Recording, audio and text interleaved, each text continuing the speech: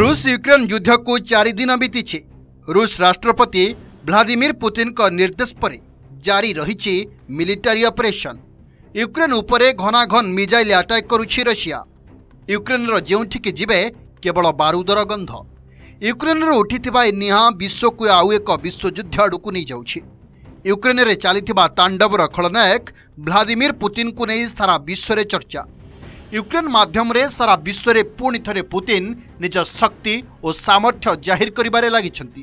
ଏମିତିରେ ବି ପୁତିନ ପୂର୍ବରୁ ବିଶ୍ୱର ଶକ୍ତିଶାଳୀ ଲୋକଙ୍କ ମଧ୍ୟରେ ଆସୁଥିଲେ। ଏବେ ଏହି ଚାରିଦିନ ମଧ୍ୟରେ ଯୁଦ୍ଧରେ ସେ ପୁଣି ବିଶ୍ୱର ସର୍ବଶକ୍ତିମାନ ହେବାରେ ଯେଉଁ ସ୍ୱପ୍ନ ଦେଖୁଥିଲେ ତାହା ପୂରା ହେବା ପରି ମନେ ହେଉଛି।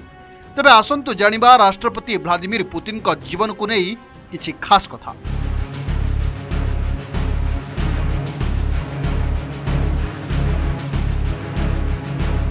ମିଡିଆ ରିପୋର୍ଟ ଅନୁସାରେ ରୁଷ ରାଷ୍ଟ୍ରପତି ଭ୍ଲାଦିମିର ପୁତିନ ଏକ ବିଳାସପୂର୍ଣ୍ଣ ଜୀବନଶୈଳୀ ଅତିବାହିତ କରନ୍ତି।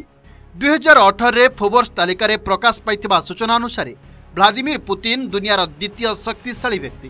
ତେବେ ନିକଟରେ ଆମେରିକା ନିମ୍ନ ସଦନର ବାଚସ୍ପତି ନାନ୍ସି ପେଲୋସି କହିଥିଲେ କି ସମ୍ଭବତଃ ପୁତିନ ବିଶ୍ୱର ସବୁଠାରୁ ଶକ୍ତିଶାଳୀ ବ୍ୟକ୍ତି। ପେଲୋସି ଏହି ମନ୍ତବ୍ୟ ସେହି ସମୟରେ ଦେଇଥିଲେ ଯେତେବେଳେ ଆମେରିକା ରାଷ୍ଟ୍ରପତି ଜୋ ବାଇଡେନ୍ ମସ୍କୋ ଉପରେ ଆର୍ଥିକ ପ୍ରତିବନ୍ଧ ଲଗାଇବା ପାଇଁ ଯୋଜନା କରୁଥିଲେ।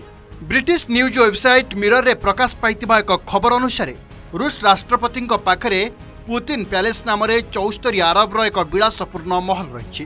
ଏହା ସହ ସାତଶହ ଏକଚାଳିଶ କୋଟି ଟଙ୍କାର ଏକ ଜାହାଜ ଏବଂ ଆହୁରି ଅନେକ ମୂଲ୍ୟବାନ ସମ୍ପତ୍ତି ରହିଛି। ପୁତିନଙ୍କ ପାଖରେ ରହିଥିବା ଜାହାଜରେ ବେଡରୁମ୍ ସୁଇମିଂ ପୁଲ୍ ହେଲିପ୍ୟାଡ୍ ବି ରହିଛି। ବ୍ରିଟିଶ ମିଡିଆରେ ରିପୋର୍ଟ ଥିବା ପୁତିନ ପ୍ୟାଲେସ୍ ମହଲର ରୁଷର କୃଷ୍ଣ ସାଗର କୂଳରେ ରହିଛି। ଏହି ମହଲରେ ଏକ ବଡ଼ ସୁଇମିଂ ପୁଲ୍ ରହିଛି ଯାହାକୁ ଗ୍ରୀକ୍ ଦେବତାମାନଙ୍କ ପ୍ରତିମୂର୍ତ୍ତିରେ ସଜାଯାଇଛି।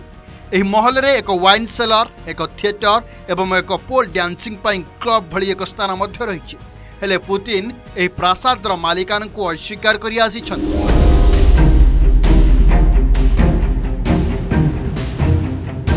ମିଡିଆ ରିପୋର୍ଟରେ ଆହୁରି ମଧ୍ୟ କୁହାଯାଇଥିଲା କି ପୁତିନଙ୍କ ପାଖରେ ଏକ ବିଳାସପୂର୍ଣ୍ଣ ମହଲ ସହ ଆହୁରି ଉଣେଇଶଟି ଘର ରହିଛି। ଏହା ସହ ଅଠାବନଟି ବିମାନ ଓ ହେଲିକପ୍ଟର ସାତଶହ କାର୍ କୋଟି କୋଟି ଟଙ୍କା ମୂଲ୍ୟର ଦାମୀ ଘଣ୍ଟା ବି ରହିଛି। ବିଦେଶୀ ଗୃହପାଳିତ ପଶୁଙ୍କୁ ରଖିବାକୁ ମଧ୍ୟ ଭଲ ପାଆନ୍ତି ପୁତିନ। ଯେଉଁମାନଙ୍କ ମଧ୍ୟରେ ବୋରିସ୍ ନାମକ ଏକ ବାଘ ରହିଛି ଯାହାକୁ ପୁତିନ ଲାଇଭ୍ ଟିଭିରେ ଦୁଇହଜାର ପନ୍ଦର ମସିହାରେ ଜଙ୍ଗଲରେ ଛାଡ଼ି ଦେଇଥିଲେ ୱାଶିଂଟନ୍ ପୋଷ୍ଟ ସହ ଆଲୋଚନା କରିବା ସମୟରେ ହେଜ୍ ଫଣ୍ଡ ମ୍ୟାନେଜର ବିଲ୍ ବ୍ରାଉନର ଅନୁମାନ କରିଥିଲେ କି ରୁଷ ରାଷ୍ଟ୍ରପତି ଭ୍ଲାଦିମିର ପୁତିନଙ୍କ ସମ୍ପତ୍ତି ପ୍ରାୟ ଦୁଇଶହ ବିଲିୟନ ଡଲାର ତେବେ ପ୍ରକୃତରେ ପୁତିନଙ୍କ ନିକଟରେ କେତେ ସମ୍ପତ୍ତି ରହିଛି ତାହା ଏବେ ବି ରହସ୍ୟମୟ ବ୍ୟୁରୋ ରିପୋର୍ଟ ନନ୍ଦିଘୋଷ ଡିଜିଟାଲ